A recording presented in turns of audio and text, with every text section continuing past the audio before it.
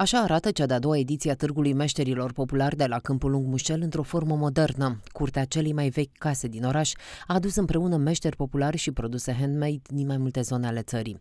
Vedeta târgului a fost însă sandvișul românesc, devenit brand american. Începem cu pastrama. Pastrama, Asta e pastrama noastră. Pastrama noastră de porc, făcută afumată, afumată da, da. într-un mod uh, clasic, da. la fum de fag, da? da? Deci nu e de asta de comerț. Da? Se pun 100-100 și ceva de grame de pastrame, da.